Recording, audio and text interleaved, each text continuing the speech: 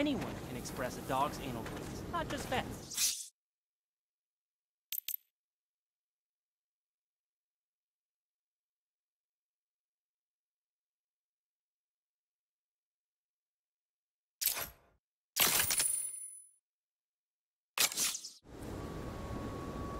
Don't worry about your mom so much.